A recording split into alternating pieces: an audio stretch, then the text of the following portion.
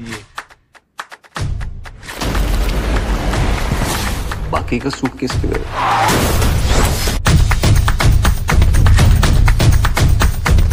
अरे ओ गजोधर कितने आदमी थे।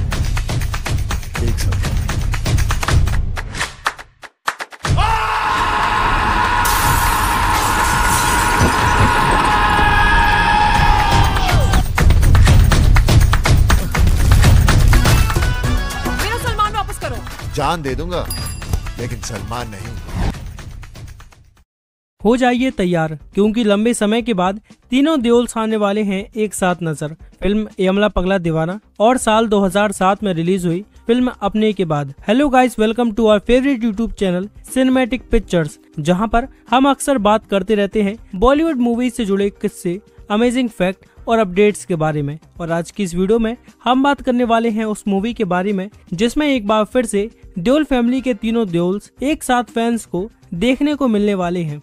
रिपोर्ट्स के मुताबिक जल्द ही बॉलीवुड के पहले एक्शन हीरो यानी कि सनी देओल ला रहे हैं फैंस के लिए एक ज़बरदस्त कॉमेडी से भरी हुई फ़िल्म चीयर्स जी हाँ आपने सही सुना। इस कॉमेडी मूवी का टाइटल चीयर्स होने वाला है, जिसमें इस बार सनी देओल के साथ उनके छोटे भाई बॉबी देओल और पिता धर्मेंद्र फैंस को नज़र आएँगे, जिसे डायरेक्ट कर रहे हैं बॉलीवुड के फाइनेस्ट डायरेक्टर में से एक संगीत सिवन।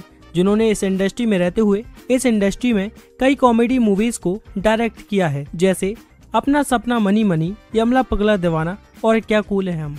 आपको बता दें इसके अलावा देओल फैमिली के तीनों ही देओल्स साल 2022 में रिलीज़ होने वाली और बॉलीवुड की most awaited film Apne two में नज़र आएँगी, जिसमें इस बार तीनों देओल्स के साथ साथ सनी देओल के बड़े बेटे यानी कि करण देओल भी नज़र आएँगे।